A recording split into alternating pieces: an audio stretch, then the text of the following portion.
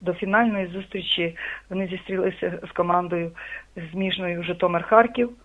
Вони їх перемогли 1-2-1 і вийшли по вінерах в четвірку попали. І в четвірці вони змагалися.